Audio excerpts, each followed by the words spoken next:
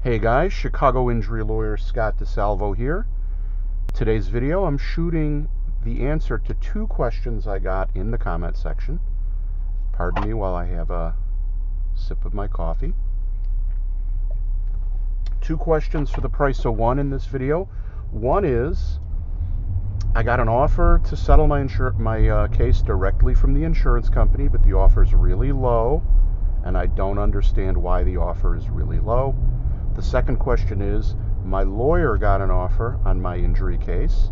I have pretty serious injuries, but the offer, once again, is very low. Both of those people want to know what should they do. What should they do? So it's a little bit of a different situation. We'll take them in order. First, if you're dealing with the insurance company one on one, make sure that you realize that they will offer you anything they think you'll take. Like if they know it's a serious, solid, strong case, so that the chances are, if you go get a lawyer, uh, you're gonna you're gonna get paid more money, something like that. They want to get rid of you, um, but balance it with keeping hope, so that you don't go and consult with an attorney. Okay, so it, they they know that you don't want to hire a lawyer if you've already been talking to them, right? You already been talking to them, then um, they're like they they smell blood in the water, right? It's the analogy I use all the time.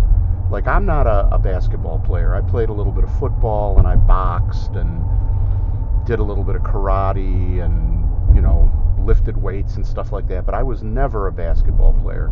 It would be like me trying to play uh, elite high school player or something like that in basketball, or like somebody who never played chess before trying to play chess with somebody who plays chess every day and is good at it, right?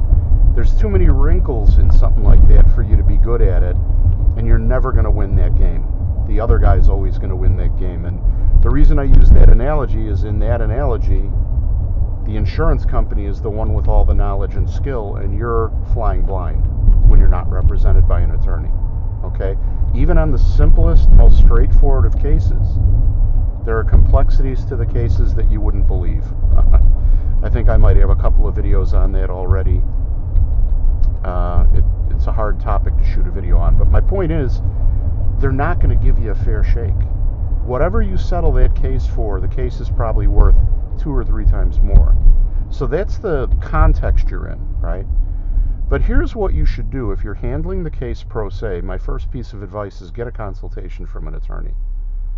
Another thing you can do is get an idea of the value or potential value of the case without talking to an attorney, and that is where my good case calculator and uh, case cash calculator come in. Those are two free tools that I offer on my website for free.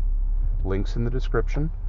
Basically, you just go to each one of them. They work similarly, but they ask different questions and give you different customized information to your particular situation. They're free to use, they take 20 seconds, and then you got custom information on your situation all without talking to an attorney. Okay? So that's, you know, I built those for people so that they could learn more about their case without having to talk to an attorney, and they're completely free. Use them as many times as you want, share them with friends, whatever you want to do, they're there. Links in the description. That's one way for you to get an idea whether you have a good case or a bad case or what the settlement value of your case might be. Um, so, links in the description. That's another thing I would recommend that you do. If you're not going to talk to a lawyer, use those tools to get an idea of the strengths of your weaknesses. Finally, finally, the third piece of advice if you're dealing with an adjuster directly and they give you a crappy offer, ask them to justify it. Ask them to explain it. Um, presumably, those numbers came from somewhere. Now, if they won't explain it to you, or they give you some nonsense jibber jabber, okay, then you know that they're not dealing with you in good faith. Okay? Anytime an insurance company gives you an offer and they will not explain it to you, will not break it down, will not tell you where the numbers come from, and I don't mean explaining it by saying, oh, the medical bills are too high and we're not considering your lost wages. That, that's not an explanation, that's a conclusion. They need to explain to you where they, the numbers came from. If they're not willing to do that, then you know what's happening, okay? You know what's happening. They are refusing to really deal with you in good faith. And at that point, honestly, unless you don't mind being one of the insurance company injury victims that gets far less than what you're entitled to, then go ahead and negotiate, get an extra 500 bucks on it, call it a day. But an attorney can do far more for you. See, insurance hate it.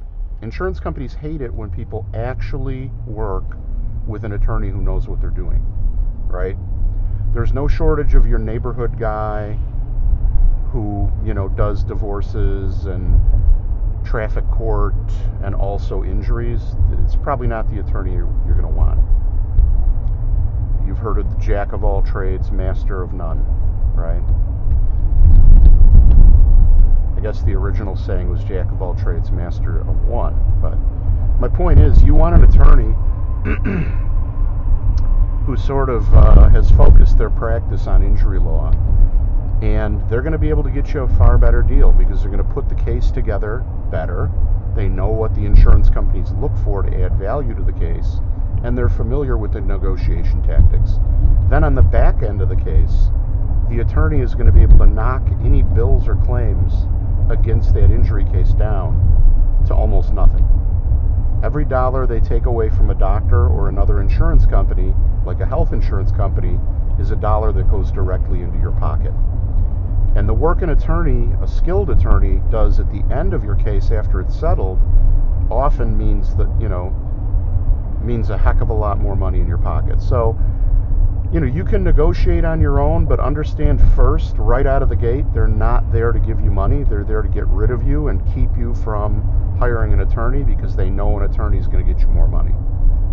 Um, number two, get a consultation from an attorney or use my case cash calculator and good case calculator on my website, links in the description, to get some idea about what your case might be worth. Finally, make them explain to you where their numbers come from. And if they won't, you know they're not dealing with you in good faith. And at that point, settle for whatever they're offering, squeeze them for 500 bucks more, or do the right thing and hire an attorney. I'll give you three guesses who I think you should hire. This guy right here, right? Um, anyway, if you have a case that you need help with, you can always call me. It's completely free to talk to me to get a consultation. You can reach me anytime, day or night, at 312 500 4500. That's 312 500 4500. Never a charge to talk to me. You tell me what happened. I'll ask you some questions. And from there, I will answer all of your questions. If we want to proceed on a case together, we can do that. If we don't, you don't want to hire me, or I don't want the case, we part as friends, right? So if you or anybody you know needs a lawyer, please send them my way. Now, on to the second question. The second question is, to me, drives me nuts, right? Because I actually get this question all the time, right? I think I actually shot a video on this already, but it keeps coming up. I get a ton of people in the comment section who say, "My lawyer's the worst. Uh, he he got me this offer. He wants me to accept it. He's putting pressure on me. I have very serious injuries. The offer is really, really, really low. You know, the offer is really, really low. What do- you know? What should we do? What should we do? So, um, it's similar to what I would tell you to do with the insurance adjuster. Look, the thing to remember is if you have an attorney who's representing you, no matter what you think of their skills or their people skills or how hard they're working or how familiar they are with your file and stuff of that nature, at the end of the day, whenever that case resolves, the lawyer is getting a third or more of the settlement. Or in the case of a work injury, it's 20%, not a third or 40%, like in a car crash or a fall down or a dog bite, bar fight, nursing home, whatever, right? Uh, it's usually in, in the neighborhood of a third or 40% if it goes into litigation. On those kinds of cases, 20% in a workers' comp case. So if an attorney is getting 20% or one third, 33 and a third percent or more of your ultimate settlement or verdict at trial, and they tell you a settlement number and you don't understand it, make them explain it to you. Make them explain it to you. And if they're too busy, they don't have time, then ask for a face to face meeting or a Zoom meeting on your phone or computer. That's one of those, for those of you who don't know what Zoom is, I think everybody is kind of figuring out what it is, but it's you have a video conference on your phone with your attorney. I will tell you, I have hundreds of cases in my office, and I can tell you that on any case where there's an offer in my in my office, I am able pardon me, I am able within within 5 minutes of looking at the details of the case, within 5 minutes I can have an hour-long conversation with a client and answer every one of their questions about why the offer is where it is and what happens if we don't take the offer and how much money they're going to have in their pocket.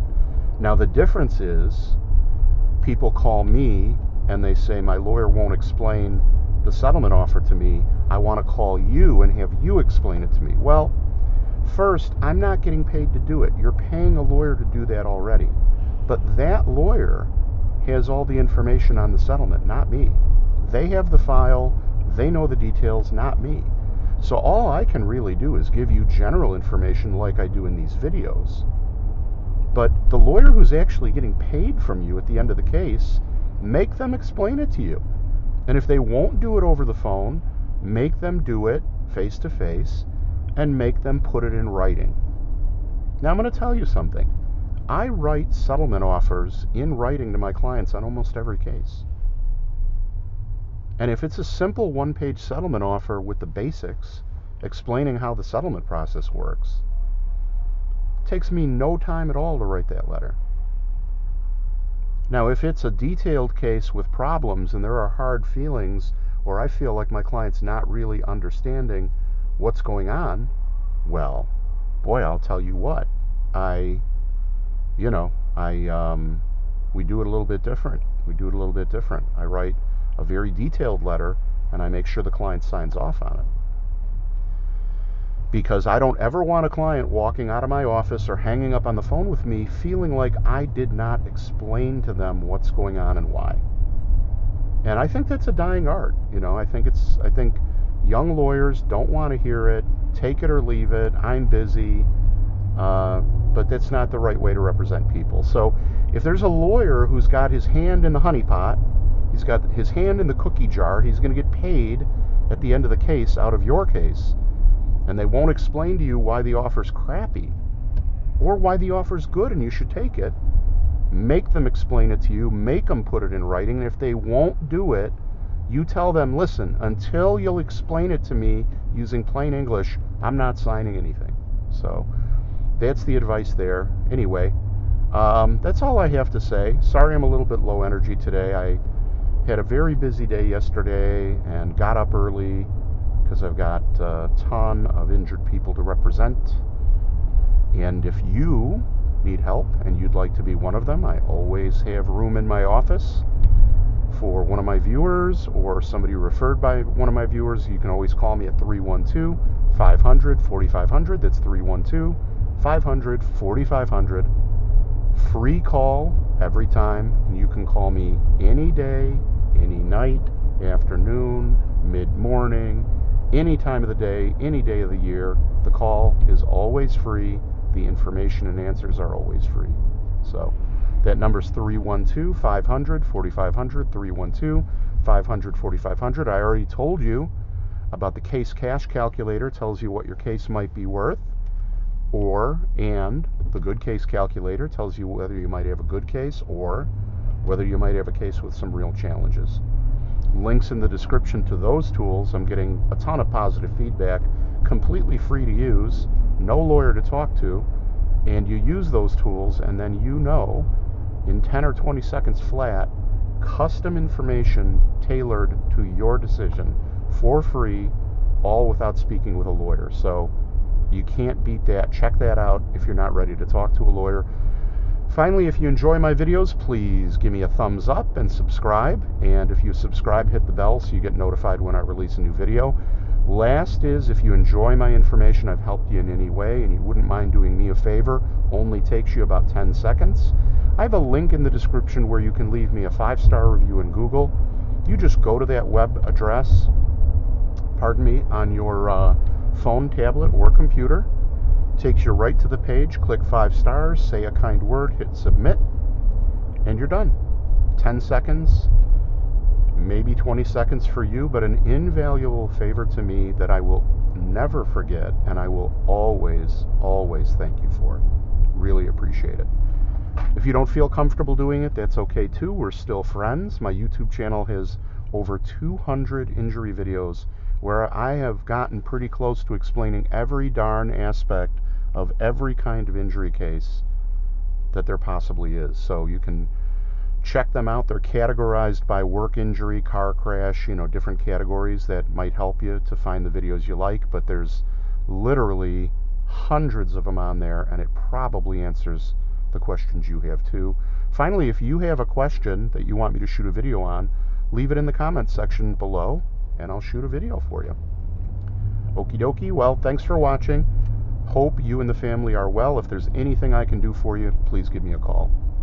Uh, thanks for watching and take care. Bye bye.